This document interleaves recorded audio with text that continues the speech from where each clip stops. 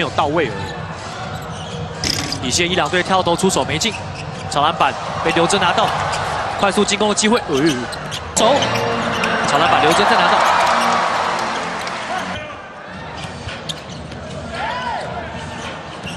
好罚完之后防守上做了一，哎，又是一个防守奏效，超到，断的这就跨步进来，利用刘真犯规闪过了让自己有站上罚球。中间交给陈冠全，再出来。这边抓的是伊朗队的犯规。哎，刘真又把球给抄到，哇哈！哇所以在前线的断，是伊朗队开始的罚球还国家队年轻的新秀是一个违反运动现在他一样罚两，最后再出来，再交给兰尼下去找刘真，背筐，再出来胡龙茂顶点三分出手进，哇，又一个三分球。陈冠觉的防守也相当成功，快攻机会，多打少，交给刘真上篮，放进两分，十八比十五。李德威这球再回给刘真，外线直接拔起来出手进，来了一个三分平射炮。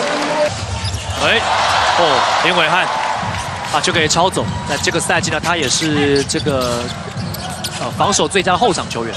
回头去找刘真，也是助攻王。交给刘真 for three。啊，伊朗队现在把贝奥十七号的 a k a p u r 给换上来，抓对最后一波进攻，刘真切入到篮下过了，出手得分。这一波有机会守住，伊朗队三分球出手，结果面包。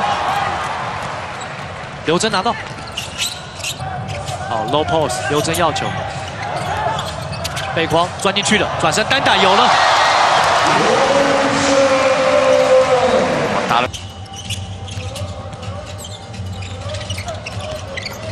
要拉一下，给到刘真，造成了犯规。第二罚罚啊这是清醒了，好像这节快速的两犯合计四犯。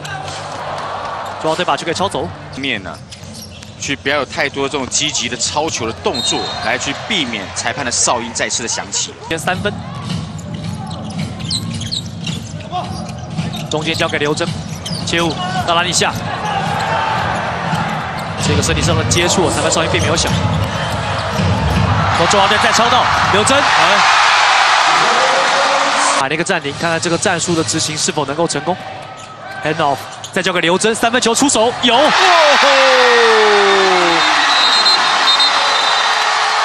哇，刘真这一球成功的防守把对方给挡下来，这边快攻机会交给前面找刘真，这一球没进，但造成了犯规。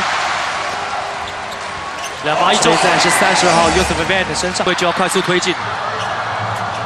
胡罗茂再回给刘真，第一步过过去了，